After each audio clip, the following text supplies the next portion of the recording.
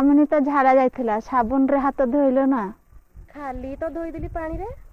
ମାମୁନି ଝାଡା ଯାଇ ସାରିଲା ପରେ ସଫା କରି ସାରିଲା ପରେ ତମେ ସାବୁନରେ ହାତ ଧୋଇଉଛ ନା ନାଇଁ? ନାଇଁ ସବୁଦିନ ଯେମିତି ଖାଲି ପାଣିରେ ଧୋଇ ଦଉଛି ସେମିତି ଧୋଇ ଦଉଛି ଆଉ। ଭାରତରେ ଯୋଉ ସାବୁନରେ ହାତ ଧୁଆ ହଉଥିଲା ଭିଡିଓରେ ତୁମେ ଦେଖିନି କି? ନାଇଁ ପରା ମୁଁ ମୋ ବାପ ଘରକୁ ପଳେଇଥିଲି ସେଥିପାଇଁ ଦେଖିନାହିଁ ଦିଦି ଯୋଉ ସଫା କଥା କହୁଥିଲେ ସାବୁନରେ ହାତ ଧୋଇବା ନିହାତି ଦରକାର। ଚାଲ ମୁଁ ସାବୁନରେ ହାତ ତ ଧୋଇକିରି ଦେ- ଶିଖିଛି ଭିଡିଓରେ ଦେଖିଛି ଚାଲ ଦେଖେଇଦେବି ତମକୁ କେମିତି ଧୁଅନ୍ତି।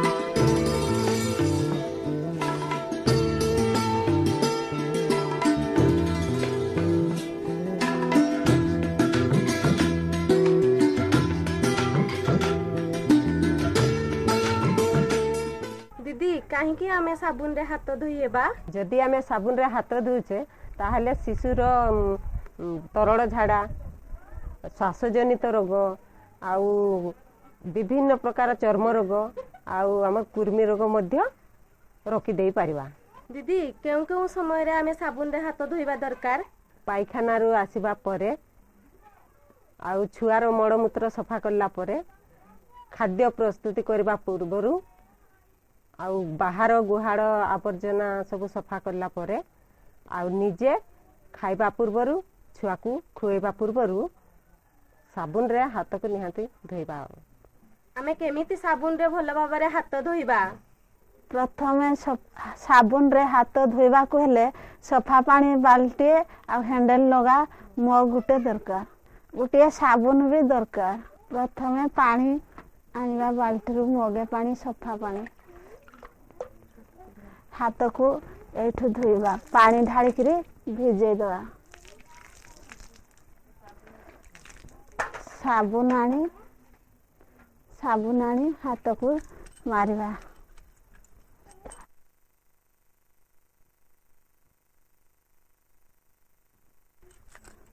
ତାପରେ ସାବୁନକୁ ରଖିଦେବା। ତାପରେ ସାବୁନକୁ ଘଷିକିରି ଫେଣ କରିବା।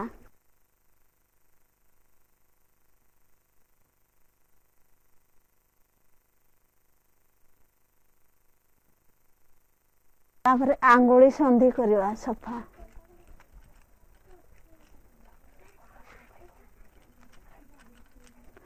ତାପରେ ଆଙ୍ଗୁଳି ମୁଣ୍ଡି ସଫା କରିବା।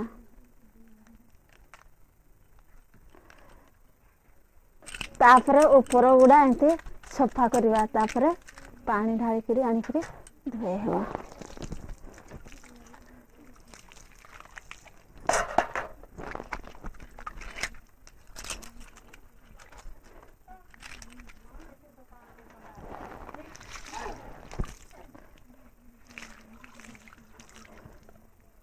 ସଫା ଟାୱାଲ କିମ୍ବା ଗାମୁଛାରେ ହାତ ପୋଛି ହେବ ନହେଲେ ତ ଏଇଭଳିଆ ଝାଡ଼ି ହେଇକିରି ଶୁଖେଇବା ହାତକୁ।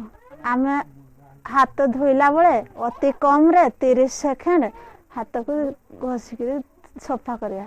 ଏବେ ଟିକେ ତମେ କରିକିରି ଦେଖାଅ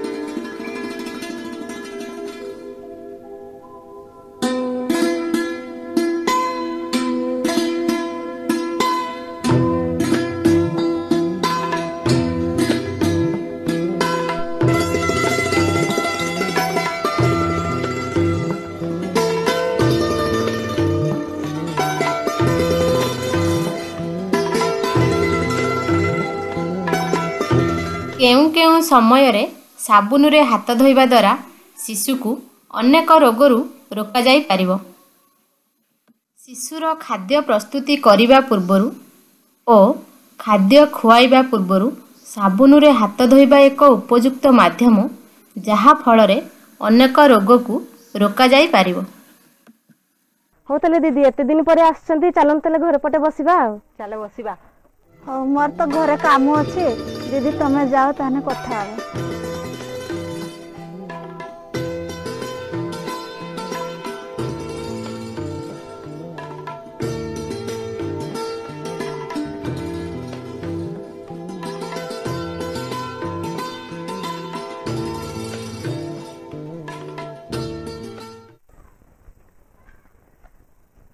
দিদি, এটি টিকে ছিড়া হুঁতু মু টিকে সপোর্ট আনে।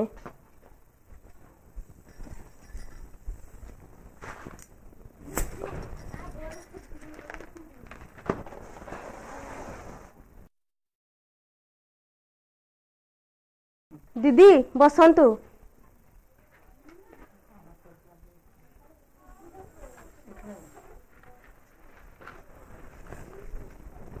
ତ ଦେଖିଲ ସେଇଠି ହାତ ଧୁଆ କେମିତି ହୁଏ? ନିଜେ କରିଲ ମଧ୍ୟ। ଆଉ ଆମେ କେମିତି ଉପକାର ସେଇଠି ପାଉଛୁ? ବର୍ତ୍ତମାନ ଦେଖିବା ଛୁଆର ଖାଦ୍ୟ ପ୍ରସ୍ତୁତ କରିବା ପୂର୍ବରୁ ଆମେ କେମିତି ପରିଷ୍କାର ପରିଚ୍ଛନ୍ନ ରହିବା ସେ ବିଷୟରେ ଆମେ ଆଲୋଚନା କରିବା। ଛୁଆର ଖାଦ୍ୟ ପ୍ରସ୍ତୁତି କରିବା ପୂର୍ବରୁ କେଉଁ କେଉଁ ବିଷୟରେ ଆମେ ଧ୍ୟାନ ଦେବା ଦରକାର? ଆମେ ଯେତେବେଳେ ରୋଷେଇ କରିଛୁ ସାବୁନରେ ହାତକୁ ଭଲ ଭାବରେ ଧୋଇବା ଦରକାର। ତାପରେ ଯୋଉ ଜାଗାରେ ଆମେ ରୋଷେଇ କରୁଛୁ ସେ ଜାଗାଟା ପରିଷ୍କାର ପରିଚ୍ଛନ୍ନ କରିବା ଦରକାର। ଯଦି ନ କରୁଛେ ଖାଦ୍ୟ ପଦାର୍ଥରେ ରୋଗ ଜୀବାଣୁ ସଂକ୍ରମଣ ହେବାର ଆଶଙ୍କା ଥାଏ। ଯୋଉ ଆମେ ରୋଷେଇ କରିବା ପାଇଁ ବାସନ ଦରକାର କରୁଛେ ତାକୁ ଭଲ ଭାବରେ ସଫା କରିବା ଦରକାର। ଯୋଉ ପନିପରିବା ଆମେ ରୋଷେଇ କରୁଛୁ ତାକୁ ଆଗ ଭଲ ଭାବରେ ପରିଷ୍କାର କରି ଧୋଇକି ତାକୁ କାଟିକି ଦ- ରାନ୍ଧିବା ଦରକାର। ଯୋଉ ଖାଦ୍ୟ ଆମେ ରାନ୍ଧି ସାରିଲା ପରେ ତାକୁ ଭଲ ଭାବରେ ଘୋଡେଇକି ରଖିବା। କାହିଁକି ନା ଯଦି ଆମେ ଖୋଲା ରଖୁଛେ ବାହାର ଧୂଳି ମଳି ପଡ଼ିବ ମାଛି ବସିବ ତେଣୁ ଆମେ ତାକୁ ଭଲ ଭାବରେ ଘୋଡେଇ ରଖିବା। ଆଉ ଯୋଉ ବାସନରେ ଖାଇବାକୁ ଦେବା ବାସନକୁ ମଧ୍ୟ ଭଲ ଭାବରେ ଧୋଇକି ପରିଷ୍କାର କରିକି ସେଇ ବାସନରେ ଆମେ ଖାଇବାକୁ ଦେବା। ଶିଶୁର ଖାଦ୍ୟ ପ୍ରସ୍ତୁତି ଓ ଖୁଆଇବା ସମୟରେ କେଉଁ ବିଷୟରେ ଧ୍ୟାନ ଦେବା ଉଚିତ? ଶିଶୁର ଖାଦ୍ୟ ପ୍ରସ୍ତୁତି କରିବା ଓ ଖୁଆଇବା ସମୟରେ ପରିଷ୍କାର ଓ ପରିଚ୍ଛନ୍ନତା ଉପରେ ଧ୍ୟାନ ଦେବା ଜରୁରୀ ଯାହା ଫଳରେ ଅନେକ ରୋଗକୁ ଦୂରେଇ ପାରିବା।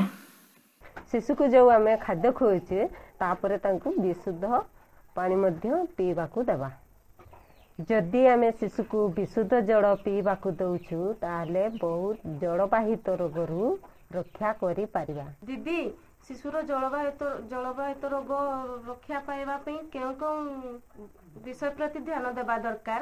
ବିଶୁଦ୍ଧ ପାନୀୟ ଜଳ ପାଇବାକୁ ହେଲେ ଆମକୁ ଗଭୀର ନଳକୂପ ପାଣି ଆଉ ବୋରିଂ ପାଣି ସପ୍ଲାଇ ପାଣି ଆଉ ଫୁଟା ପାଣି ଆଉ କ୍ଲୋରିନ୍ ବଟିକା ପକେଇକି ମଧ୍ୟ ଆମେ ତାକୁ ବିଶୁଦ୍ଧ କରିପାରିବା ହେଲେ ଫିଟିକିରି ମଧ୍ୟ ପକେଇ ପାରିବା। ପାଣି ରଖିବା ପାତ୍ରକୁ ଯଦି ଆମେ ସଫା କରୁଛେ ତାହେଲେ ଲୁଣ ଦ୍ୱାରା ତାକୁ ଯଦି ଆମେ ସଫା କରୁଛେ ସମ୍ପୂର୍ଣ୍ଣ ସଫା ହୋଇଥାଏ। ଫୁଟା ପାଣିକୁ ସଫା ଧଳା କପଡ଼ାରେ ତାକୁ ଛାଣିକି ରଖିବା। ପାଣି ପାତ୍ରକୁ ଆମେ ଏମିତି ଜାଗାରେ ରଖିବା ଭୂଇଁଠାରୁ ଉଚ୍ଚରେ ରହିବ ଯେଉଁଠିକି ଛୋଟ ଛୁଆ ମଧ୍ୟ ଯାଇପାରିବେ ନାହିଁ କି ପଶୁପକ୍ଷୀ ମଧ୍ୟ ଯାଇପାରିବେ ନାହିଁ ଆଉ ତାକୁ ଆମେ ଘୋଡ଼େଇକି ରଖିବା ଯେଉଁଠିକି ଧୂଳି ମଡ଼ି ପଡ଼ିବ ନାହିଁ। ଯେତେବେଳେ ଆମେ ପାଣିକୁ ବ୍ୟବହାର କରୁଛୁ ତାକୁ ହ୍ୟାଣ୍ଡେଲ ଲଗା ମଗରେ ତାକୁ କାଢ଼ିବା ଆମେ ଡାଇରେକ୍ଟ ହାତ ବୁଡ଼ାଇବା ନାହିଁ। କେଉଁ କେଉଁ ବିଷୟ ପ୍ରତି ଗୁରୁତ୍ୱ ଦେଲେ ଶିଶୁକୁ ଜଳଜନିତ ରୋଗରୁ ରକ୍ଷା କରିପାରିବା? ବିଶୁଦ୍ଧ ପାନୀୟ ଜଳ ବ୍ୟବହାର କରିବା ସହିତ ପାଣି ପାତ୍ରକୁ ସଫାସୁତରା ରଖିବା ଯାହାଫଳରେ ଶିଶୁକୁ ଜଳଜନିତ ରୋଗରୁ ରକ୍ଷା କରିପାରିବା। ତା ସାଙ୍ଗକୁ ଶିଶୁର ଯେଉଁ ମଳମୂତ୍ର ତୁମେ ବାହାରେ ଫୋପାଡୁଛ ତାହାକୁ କେବେ ବି ବାହାରେ ଫୋପାଡ଼ିବ ନାହିଁ। ଦିଦି ଶିଶୁର ମଳତ୍ୟାଗ ସମୟରେ ଓ ପରେ କଣ କଣ ପଦକ୍ଷେପ ନେବା?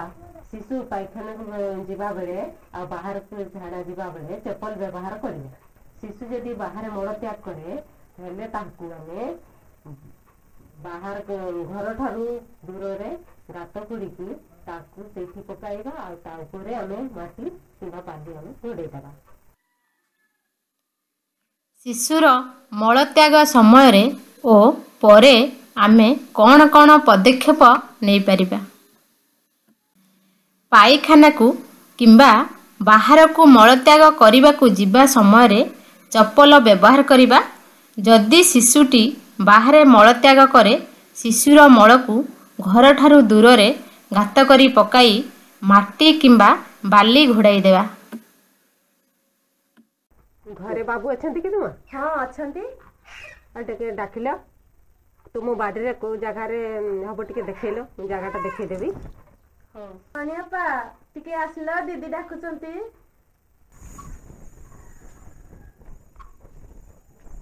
ଦିଦି ନମସ୍କାର ନମସ୍କାର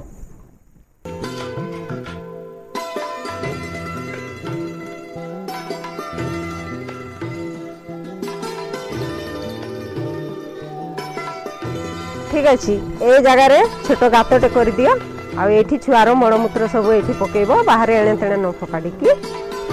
ଏଠି ଫୋକାଡ଼ିକି ତାକୁ ମାଟି କିମ୍ବା ବାଲି ଘୋଡ଼େଇ ଦେବ ଆଉ।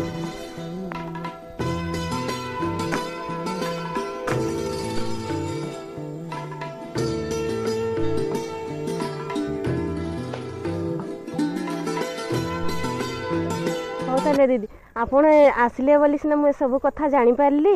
ଛୁଆର କେମିତି ଯତ୍ନ ନେବା କେମିତି ପରିଷ୍କାର ପରିଚ୍ଛନ୍ନ କରିବା ଆଉ ଏସବୁ କଥା ମୁଁ ସବୁ ଜାଣିପାରିଲି। ମୁଁ ମୁଁ ଗାଁ ଲୋକକୁ ମଧ୍ୟ ମୁଁ ଏସବୁ କଥା କହିବି। ସେଥିପାଇଁ ଆପଣଙ୍କୁ ବହୁତ ବହୁତ ଧ- ଧନ୍ୟବାଦ। ନମସ୍କାର। ହଉ ନମସ୍କାର। ମୁଁ ଆସୁଛି। ହଉ।